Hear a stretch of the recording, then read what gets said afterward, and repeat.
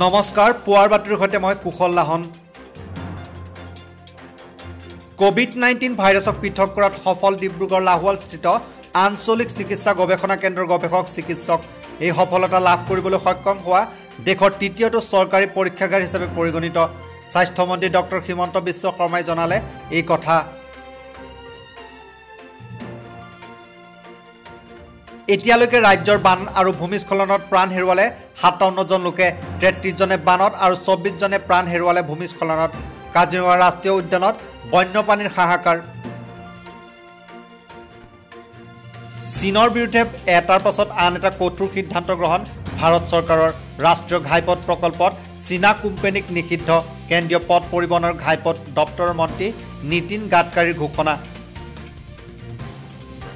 নেপালৰ প্ৰধানমন্ত্ৰী K P Sharma আলীৰ গাদী যাওঁ যাওঁ ভাৰতৰ বিৰুদ্ধে কৰা মন্তব্যতে প্ৰতিবাদৰ ঢৌ পদত্যাগৰ দাবী উৎখাপন খোদ শাসকীয় দলৰ নেতাৰ।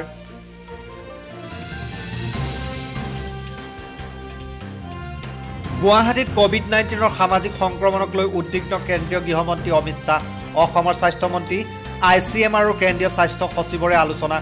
গুৱাহাটীত দিনে দহ হাজাৰ নমুনা পৰীক্ষা কৰিবলৈ ৰাজ্যৰ স্বাস্থ্য বিভাগক নিৰ্দেশ। ডিব্ৰুগড় টিংখঙত শুকাব ঘটনা। যান পাৰ হ'বলৈ লওঁতে একেটা পৰিয়ালৰে তিনিগৰাকী কন্যাক উটুৱাই নিলে প্ৰবল সোঁতে অঞ্চলজুৰি শোকৰ চাহ।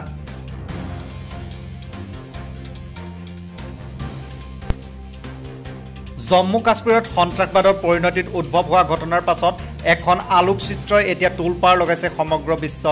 ককাকৰ তেজে তুমৰলি শৰীৰৰ ওপৰত বহি ৰ'ল তিনি বছৰ বয়সীয়া অবুধ নাতি শিশুটিক নিৰাপদে উদ্ধাৰ আৰক্ষীৰ কৰোণা সংক্ৰমণৰ সন্দেহত বেংগালুৰুত সাতচল্লিছটা ছাগলী কোৱাৰেণ্টাইন। এজন ছাগলী পালকৰ দেহত কভিড নাইণ্টিন পজিটিভ ধৰা পৰাতে এই ব্যৱস্থা স্বাস্থ্য আৰু পশুপালন বিভাগৰ। ইয়াৰ পূৰ্বে এই পালকজনৰ চাৰিটা ছাগলীৰ প্ৰাণহানি হৈছিল অচিন ৰোগত। ৰাষ্ট্ৰীয় চিকিৎসক দিৱসত দেশৰ চিকিৎসকসকলৰ প্ৰতি প্ৰধানমন্ত্ৰী নৰেন্দ্ৰ মোদীৰ কৃতজ্ঞতা জ্ঞাপন। মাতৃয়ে জন্ম দিয়ে চিকিৎসকে পুনৰ জন্মক নিশ্চিত কৰি তোলে।